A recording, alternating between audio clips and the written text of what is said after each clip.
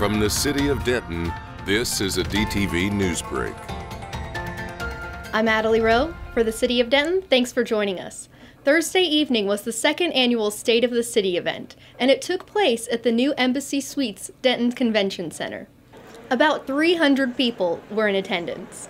The evening got underway as many city departments were on hand to meet with citizens. It was an interactive and engaging affair.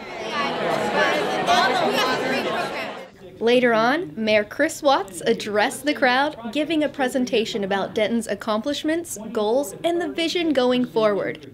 So I was thinking about the theme for this State of the City this evening. And I thought, what would best reflect what's happened in the city of Denton in 2017 and what would best reflect as we move forward in 2018?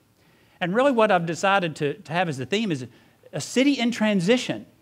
Denton was in transition in the year 2017 for a lot of different reasons. A brief Q&A followed.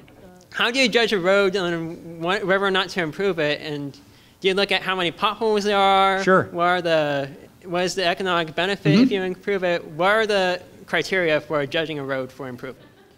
We know the roads around UNT are challenging. Good question on how do we evaluate roads.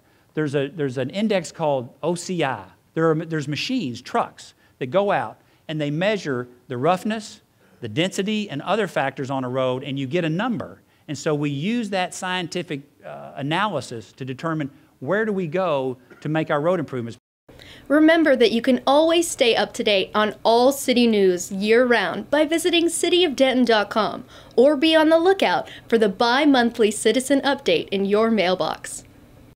Friday, February 23rd is the Music Friendly Community Celebration. It takes place at Dan Silverleaf from 5 until 7. It's a public reception recognizing Denton's inclusion as an official music friendly community by the Texas Music Office. You won't want to miss it. That does it for this edition of DTV Newsbreak. For the City of Denton, I'm Adelie Rowe. Thanks for watching.